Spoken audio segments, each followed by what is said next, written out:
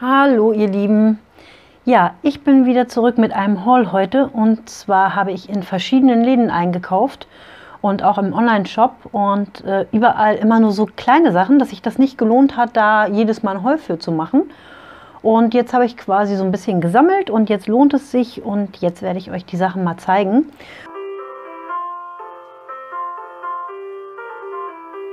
Und ich fange mal an mit äh, Zenos. In Zenos habe ich mir so eine Eieruhr gekauft. Die habe ich allerdings fürs Filmen gekauft. Und zwar will ich meine Kamera darauf kleben und dann halt so einen Zeitraffer quasi aufnehmen. Ja, die habe ich im Internet gesehen. Überall, da kosten die immer um die 6 Euro und hier 2,76 Euro. Da habe ich die gleich mal mitgenommen. Dann habe ich mir dort noch solche Perlen hier mitgenommen in grün und die schimmern auch blond, äh, bunt. Und die haben nur 50 Cent gekostet. Oh, ich weiß gar nicht, 20 Gramm sind hier drin. Und grün habe ich jetzt nicht so wirklich viel, deswegen habe ich mir die mitgenommen. Die fand ich ganz schön. Ja, und das war auch schon alles, was ich in Zenos in Braunschweig heute bekommen habe. Da war irgendwie nicht so wirklich viel, was mir gefallen hat. Ähm, dann mache ich weiter mit Action. Und im Action habe ich mir mal wieder Twin Marker gekauft. Und bei denen hier habe ich tatsächlich alle drei Farben noch nicht. Also die 91, die 102 und die 95. Alle drei Farben hatte ich noch nicht. Und bei dem hier ist es leider so, dass ich die beiden Farben schon hatte. Da war ich mir auch ziemlich sicher. Aber diese Farbe habe ich noch nicht. Blush heißt die Farbe 136. Ja, und wie ich so bin, ne, wenn da eine Farbe dabei ist, die ich noch nicht habe, dann muss das auf jeden Fall mit. Und ja, zweimal, wie gesagt, also diese beiden Pakete, nicht jeweils zweimal. Dann hatte ich noch ein bisschen Washi Tape mitgenommen. Ich benutze ja nicht so viel Washi Tape, aber das hier ist einfach mal komplett meine Farbe. Und ich finde auch die Motive ganz süß. Und hier ist so ein bisschen maritim. Und da ich maritime Sachen nicht wirklich habe, dachte ich mir, okay, nimmst du dir das mal mit. Weil ich schon so ein paar Mottokarten machen wollte und dann hatte ich irgendwie nicht die passenden Sachen.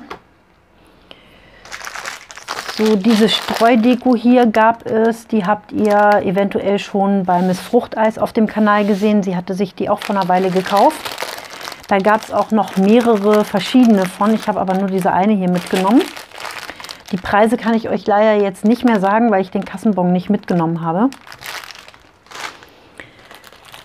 Dann habe ich mir Blümchen mitgenommen und zwar einmal diese hier, weil ich die Farbe noch nicht hatte. Die sind auch diesmal nicht glänzend, also die sind einfach naturbelassen. Und dann hatte ich diese zwei Packungen hier entdeckt. Die hatte ich noch gar nicht und auch noch nicht gesehen. Ich sehe schon, hier habe ich mir schon ein bisschen eingedrückt, aber ist nicht so schlimm. Ja, und da habe ich erst überlegt, ach, nimmst du die mit oder nicht? Und dann dachte ich, ach komm, ist egal, nimm mit. Und das scheint hier einfach nur aus Papier immer so gemacht zu sein, aber es scheint so ein bisschen stabileres Papier zu sein. Davon hatten sie übrigens auch mehrere Farben und die habe ich aber nicht alle mitgenommen. Und das war ganz lustig. Ich habe meine Mama zur Kur gefahren und auf dem Rückweg äh, sind wir, bin ich über Land gefahren, weil die Autobahn dicht war und äh, fahre durch so einen Ort und ganz plötzlich war da ein Action und dann musste ich leider anhalten und musste da unbedingt rein. Genau. Ja, ähm, hier sind solche elastischen Bänder, also so Gummibänder. Die werde ich aber nicht als Armbänder oder so benutzen, sondern die werde ich zum Nähen benutzen. Nämlich als Gummibänder zum Beispiel für, keine Ahnung, Slips und solche Sachen. Oder auch mal für Oberteil oder vielleicht auch für Handtaschen als äh, Gummis, wo man dann vielleicht so einen äh, Kugelschreiber oder sowas dran machen kann. Also diese vier Gummibänder, auch davon gab es verschiedene Motive und ich habe halt nur die mitgenommen, wo mir die Farben gut gefallen haben. Dann habe ich mir hier noch so Seidenpapier mitgenommen und zwar dieses hier. Das habe ich leider nicht gesehen, das finde ich nämlich auch total schön. Ich hoffe, dass ich es diesmal auch benutzen werde. Hier sind also diese drei Teile drin und das sind immer 40 mal 60 Zentimeter.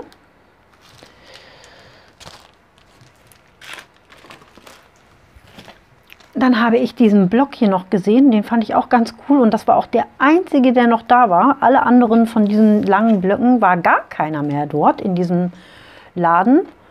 Und hier fand ich echt einige Papiere schön. Und da habe ich mir gedacht, ach komm, den nimmst du jetzt mal mit.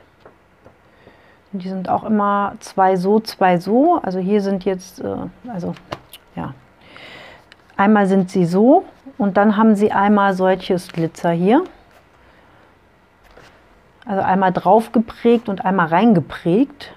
Also hier ist es quasi so reingeprägt und glänzt dahinter oder rausgestanzt, keine Ahnung. Und hier ist es eben, ist es halt nur beglitzert sozusagen. Ja, fand ich auch alle ganz schön. Und deswegen kam er ja auch noch einmal mit. Ja, und ihr wisst ja, ich habe meine Stempel äh, jetzt alle so ein bisschen untergebracht, damit mir die Dinger nicht ausgehen, habe ich mir gleich nochmal zwei Pakete davon mitgenommen. Die kann man auch nie genug haben. So, und zu guter Letzt habe ich in diesem Action noch solche Perlen hier gesehen. Diese großen Boxen. Und da habe ich mir diese beiden Farben, ich glaube, es gab auch nur die beiden Farben. Und hier ist einmal so blau und türkis drin und hier sind halt zwei Rosatöne drin. Oder einmal pink und einmal rosa und in verschiedenen Größen. Ja, finde ich auch ganz cool. Kann man auch immer super gut verwenden. Hier sind unten auch noch äh, Verschlüsse und so drin, dass man sich äh, quasi eine Kette machen kann. Das werde ich aber nicht machen. Ich werde die so benutzen. So wie ich es hier auch schon bei diesen kleinen gemacht habe. Hier ist ja auch immer der das Zeugs noch mit drin und äh, dafür werde ich es nicht benutzen. Ich werde die eben so benutzen. Ja, ihr Lieben, das war schon mein Action. Ich mache mir hier gerade mal ein bisschen Platz. Als nächstes habe ich diese Tüte hier und das ist ein Shop im Braunschweig in den Schlossarkaden. Und zwar heißt der All Over the World und der ist so ein bisschen aufgebaut wie Ikea. Also man äh, geht so durch die äh, Gänge um dann eben wieder vorne anzukommen an der Kasse. Und das finde ich eigentlich ganz cool. Und die haben immer ganz süße Sachen. Und ich zeige euch mal, was ich mir da alles besorgt habe. Ja, einmal hier so eine Joke-Brille, die brauche ich für ein bestimmtes Projekt. Und hier kann ich euch auch sogar die Preise sagen. Genau, die Brille hier zum Beispiel hat 1,39 Euro gekostet und eigentlich ist das so ein Flaschenöffner wenn ich das richtig sehe. Also da kann man wohl Flaschen mit öffnen. Ja, fand ich auf einmal auf jeden Fall ganz witzig und habe ich gedacht, ach komm, das nimmst du mal mit. Dann hier solche kleinen Geschenkpackungen. Da sind sechs Stück drin und die haben nur 1,77 Euro gekostet. Brauche ich im Bon gar nicht, steht immer drauf. Ja, fand ich auch ganz süß, mal als so kleines Geschenkchen, um da ein Geschenk halt drin zu verpacken. Dann habe ich mir mitgenommen diese vorgestanzten Kartons. Die sehen dann so aus, wenn die zusammengebaut sind. Und hier sind drin, ich gucke mal gerade, wo steht es drauf? Da oben acht Stück. Und diese acht haben gekostet 1,39 Euro. Ja, fand ich ganz süß und deswegen habe ich mir die auch gleich zweimal mitgenommen. Ich finde auch hier oben diesen Ast so, diesen ausgestanzten Ast so niedlich. Das sieht für mich eigentlich aus wie rausgebrannt, ne? dadurch, dass das hier so Farbe noch am Rand hat. Also entweder haben sie drauf gestempelt und gestanzt oder es ist äh, reingebrannt, ich weiß es nicht genau. So, dann gab es noch hier diese Schmetterlinge und zwar in diesen beiden Farben. Das sind so Holzteile, äh, die mit, ähm, ja, mit so so ein bisschen erhöht halt aufgeklebt werden können. Ich hoffe, dass der untere Kleber ganz gut abgeht, weil das hier auf so einer, nee doch nicht, ist eine Folie. Ich sehe es gerade, ich kann es auch mal rausholen. Die haben übrigens jeweils 1,29 Euro gekostet. Und ihr seht es ja, sechs Stück sind hier drin, genau, und die sind hier auf so einer Trägerfolie. Und hier hinten haben die eben dann diese Teile wie Dimensionals, die man dann eben halt aufkleben, dann ist es ein bisschen erhöht.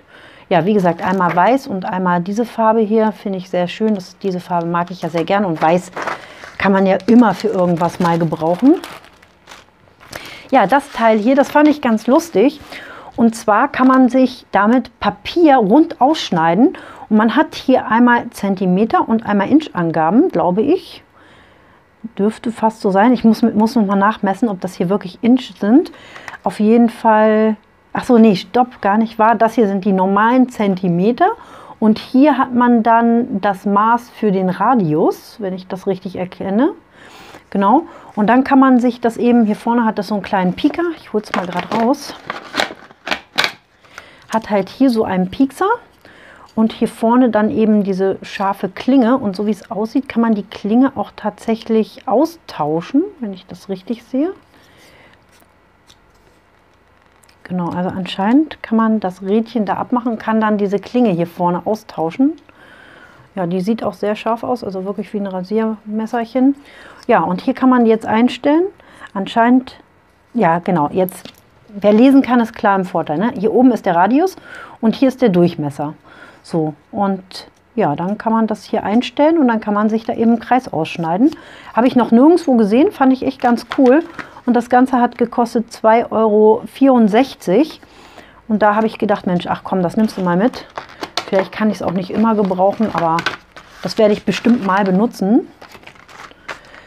So, dann hatten sie hier solche Charms, mal ein bisschen größere, so verschiedene Blätter. Das habe ich mir hier auch zweimal mitgenommen. Und die kosten jeweils 1,39 Euro. Ja, fand ich auch sehr hübsch. So, dann habe ich mir noch diese Teilchen hier mitgenommen. Und zwar sind hier drin zwölf Stück und hier unten sind auch noch so süße Hippos, Vögelchen, Häschen, Bärchen und weiß ich nicht, ob noch irgendwas ist. Ich glaube, das war's. Also so ganz süße Tierchen sind da noch mit drin und das sind ja diese Papierstrohhalme. Und da kann man dann diese Papiere draufkleben oder vielleicht verwende ich die für was anderes, aber die passen halt farblich so schön. Wie gesagt, zwölf Stück sind hier drin und gekostet hat das Ganze 1,08 Euro. Und da habe ich gedacht, ach komm, da kannst du nichts falsch machen und habe sie mir zweimal mitgenommen. Ich habe auch noch gar keine Papierstrohhalme, deswegen fand ich das auch ganz cool. Und hier habe ich noch mal welche mit ein bisschen anderen Motiven und zwar mit so Totenköpfen und mal gucken, ob die auseinandergehen freiwillig. Nee, nicht wirklich. Haben hier unten auch keine Öffnung, da muss ich sie leider aufreißen. Und dann hole ich mir gerade mal die Ornamente hier raus. Die Strohhalme seht ihr ja. Und hier sind, wie gesagt, solche Totenköpfe, so eine Fahne. Dann ist hier so ein Säbel. Das erinnert mich hier an das... Ähm, ah, jetzt muss ich ganz kurz überlegen, wie es heißt. War es auf Sylt? Ich glaube auf Sylt. Da ist doch so ein Szene, Sansibar. So ein Szene-Restaurant. Sansibar heißt das. Und die haben das irgendwie in ihrem Logo. Ja, und hier noch so eine Piratenschatzkiste. Ja, und die fand ich irgendwie auch ganz witzig und ich weiß ja, dass doch viele Leute auch auf solche Sachen hier stehen und vielleicht kann ich denen damit mal was Schönes basteln. Wenn ich mal wieder eine Tauschpost mache für Leute, die sowas mögen, dann habe ich sowas auch.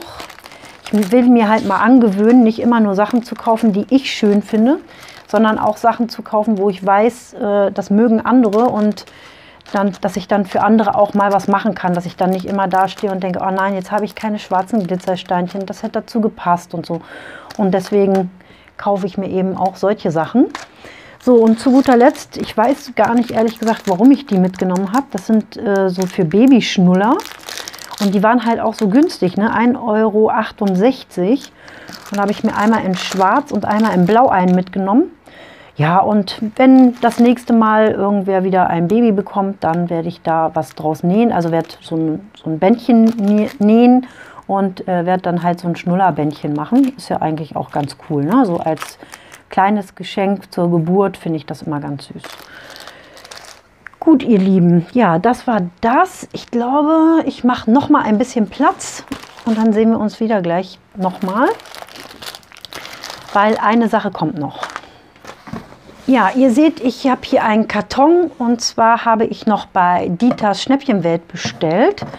Und diesmal auch gar nicht so viel, nur ein bisschen.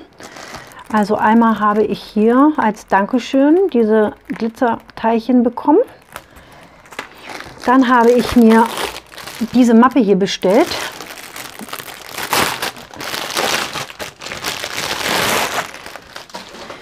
Ich habe schon länger damit geliebäugelt und als ich jetzt in äh, Koblenz da oben war, da hatte mir Christina, also Miss Fruchteis, gezeigt, dass sie auch so eine Mappe hat und wie sie da ihre Framelits aufbewahrt. Da habe ich mir das mal angeguckt und fand echt, dass das cool ist. Also sie sagte zwar, sie ist nicht so ganz zufrieden, weil ihr die manchmal auf der zweiten Seite hin und her rutschen. Aber ich fand es wirklich gut. Und da ich viele Framelits habe, die ich öfter benutze und gerne mal schnell griffbereit hätte, habe ich mir das jetzt einmal mitgenommen. Ich habe mir noch keine zusätzlichen Magnetteile genommen, aber hier sind ja auch erstmal genug drin. Hier sind, glaube ich, zehn Stück drin. Und die war im Angebot, diese Mappe. Und zwar ähm, hatte die, glaube ich, von 20 Euro auf 18 Euro knapp gekostet. Also sie war auf jeden Fall reduziert. Und da habe ich gesagt, komm, diesmal schlage ich zu und nehme sie mir mit, wenn sie schon mal reduziert ist. Das war das erste. Dann habe ich mir noch ein Distress Oxid Kissen bestellt und die dazugehörige Auffüllfarbe, weil ich leider äh, schon ein bisschen Pech hatte, dass die bestellt waren und dann waren die komplett ausgetrocknet und dann musste ich mir die nachbestellen und deswegen habe ich sie diesmal gleich mitbestellt. Und für den Preis ist das auch äh, alles völlig in Ordnung. Dann habe ich mir noch einen Santoro äh, Stempel, also einen Gorschus-Stempel mit dazu bestellt. Und zwar, äh, weil ich einfach ach, gedacht habe, so jetzt bist du bei 28 irgendwas, jetzt machst du die 30 Euro voll und habe den Stempel halt noch mitbestellt. Den hatte ich nicht und ich habe ja auch noch Platz in meinem, meiner Stempelaufbewahrung für meine Gorschus-Stempel. Das werde ich, glaube ich, jetzt immer so machen. Also ich bin nicht mehr so heiß auf die, wie es am Anfang war. Äh, als ich die neu für mich entdeckt hatte, die gab es ja schon länger, aber für mich waren sie neu, da bin ich total auf die abgefahren, hätte am liebsten alle gehabt. Und jetzt ist das so, ja, wenn ich was bestelle und da ist so ein bisschen Restbetrag, dann werde ich mir die immer mal eins, zwei mitbestellen. So, dann hatte er auch im Angebot dieses Set und dieses Set und deswegen habe ich mir die auch gleich äh, jeweils zweimal bestellt. Ich weiß leider nicht mehr, was die gekostet haben, aber die waren auch irgendwie von also die waren sehr stark reduziert auf jeden Fall. Hier sind 32 äh, Papiere drin, A4. Und das sind, ich mache es einfach mal auf und packe es mal mit euch auf, weil hier hinten sieht man auch nicht, also man sieht schon ein bisschen was drin, ist aber nicht so gut, finde ich.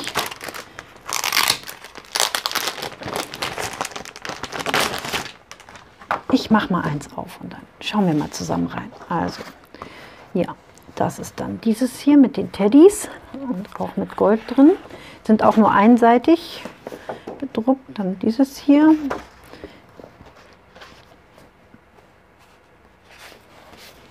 Das mit den Blümchen hier oben ist auch wieder blau und gold, so schön schimmernd. Dann mal wieder ein normales Papier. Hier mit schimmernden Krönchen. Dann hier in Gold. Oh, entschuldigt bitte. Dann hier diese unglaublich süßen Bärchen, was man super schön ausschneiden kann und als Karte benutzen kann. Dieses Papier hier. Dieses. Dieses hier. So kommt das. Dann dieses hier. Das hier mit so einem glitzernden Goldrand. Ich finde auch diese Optik, diese 3D, diesen 3D-Look ziemlich cool. Ja, dieses hier ist wunderschön. Leider ist hier ein kleiner Fehler drin. So, dann dieses Bärchi. Ich weiß nicht, wiederholt sich das Papier jetzt oder sind es andere Farben? Ne, es sind ein bisschen andere Farben. Das ist wieder hier so normales Papier ohne Schimmer. Dieses hier, was wir ja auch so ähnlich schon hatten. Dann das hier noch in grün. Dieses hier. So eins. Dieses. Das ist wieder ohne Glitzer. Hier ist es diesmal umgekehrt. Da ist nur die Schrift Gold. Dann hier mit so einem leichten Rosé, auch sehr schön. Ja, da, das hier ohne Glitzer. Hier wieder mit Glitzer im Rand. Und die letzten zwei, einmal auch wieder dieses 3D-Optik und wieder so ein wunderschönes, wo man halt Karten draus machen kann.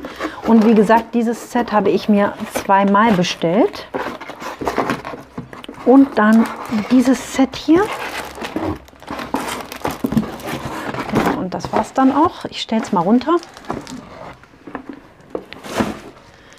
So, und diese hier sind ein bisschen stabiler, glaube ich. Ich mache es mal auf. Genau, das scheinen wirklich... Also es ist echt ein bisschen stabilere Pappe. Die kann man dann eben so rausdrücken und ich finde, die sind super schön geeignet für Hochzeit zum Beispiel. Aber hier steht sie auch, Just Married.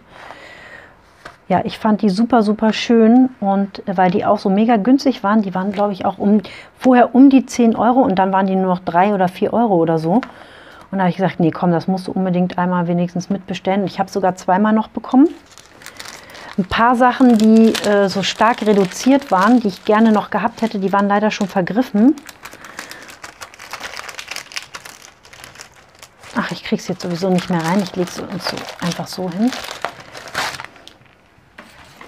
Ja, ist auch ein ganz süßes Schlussbild. Ja, ihr Lieben, ich habe es gerade schon gesagt, ein schönes Schlussbild. Das ist dann jetzt das letzte gewesen, was ich jetzt die letzten Tage gekauft, bestellt und so weiter habe. Ach, ich rei es reicht jetzt aber auch erstmal wieder. Ähm, ich war ja doch ziemlich äh, fleißig beim Shoppen, Stampin' Up, zweimal Action, dann äh, eben äh, noch bestellt bei Dieters Schnäppchenwelt, jetzt in Braunschweig noch ein bisschen geshoppt und jetzt muss erstmal wieder ein bisschen Pause sein, erstmal wieder genug geshoppt. Ähm, ich habe auch bei AliExpress bestellt, allerdings glaube ich alles so Sachen, die euch nicht so wirklich interessieren. Da muss ich nochmal drüber gucken über die Bestellung. Weiß ich nicht, ob ich das dann zeige. Wenn das jetzt ganz andere Sachen sind, dann werde ich es wahrscheinlich nicht zeigen. Ja, ihr Lieben, wie gesagt, das war's von mir. Ich wünsche euch noch einen schönen Tag. Macht's gut. Tschüss.